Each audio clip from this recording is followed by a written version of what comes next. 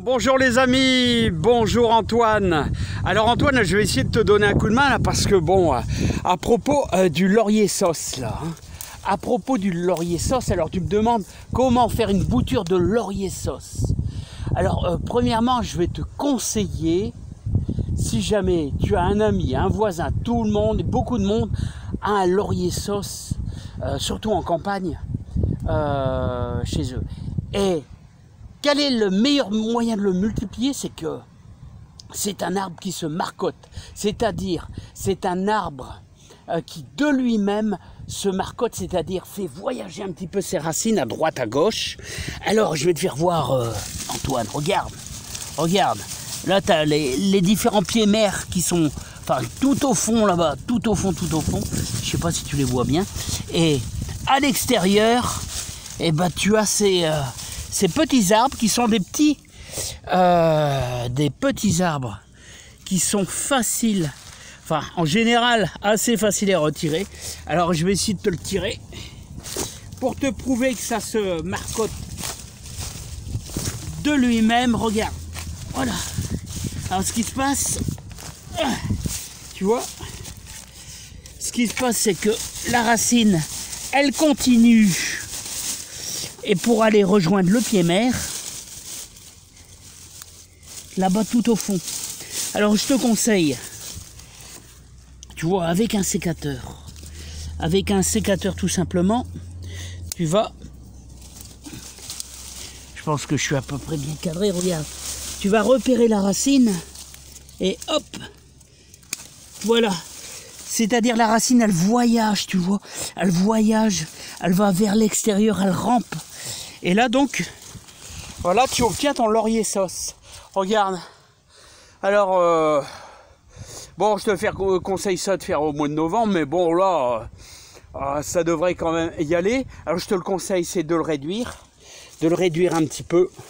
Alors, je vais te faire voir comment faire pour le réduire. Alors, notre petit arbuste, je vais prendre le sécateur. Voilà. Et comme on a détruit pas mal de racines. Donc tu vas laisser, tu vas laisser, on va couper juste là. Voilà. Tu vas laisser que ces petites branches, comme ceci, voilà.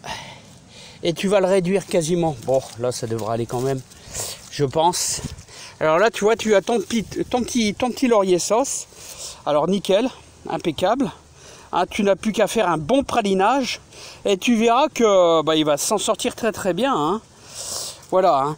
Ensuite, vraiment si tu tiens à faire une bouture, alors tu tiens à faire une bouture, Antoine, et eh ben je vais te faire voir ça. Alors c'est une branche, comme tu vois, de l'année. Là.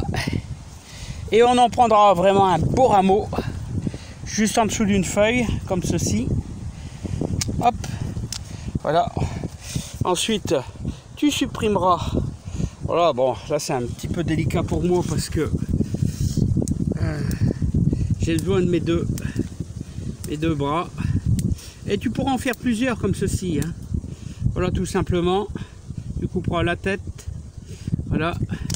Voilà, comme ceci. Et voilà, dans un bon pralinage, toujours la même chose. Voilà. Voilà Antoine. Facile, hein Facile. Mais la meilleure méthode pour multiplier, pour, multiplier, pour avoir beaucoup de laurier sauce, bien sûr, c'est la technique. On récupère le marcotage. Voilà. Et alors là, tu vois, tu as un super petit laurier sauce. Voilà, et euh, oh, il y a plein de petits arbres là, comme ça qui se marcotent euh, naturellement. Hein, et que tu peux euh, utiliser.